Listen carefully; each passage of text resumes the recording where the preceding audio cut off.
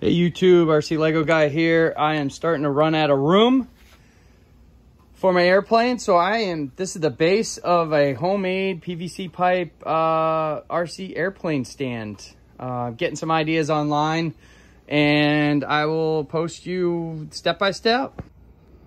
All right, the plane storage rack is coming along. I put a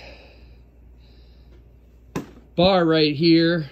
It's gonna go up and connect at the top, but I put this here to give it more stability because it was getting a little flimsy. This is only gonna be a four plane rack, but it's coming out good so far.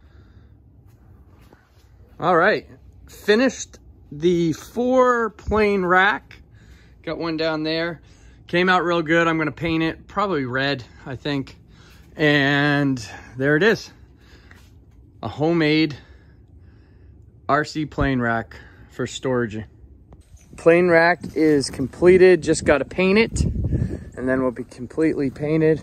You can see how I built it. It's a four plane rack, storage rack. The back has a support so it doesn't wobble and I have a middle support right there. This thing is really sturdy. Outside, I'm about to paint it. We'll see how it comes out. All right, project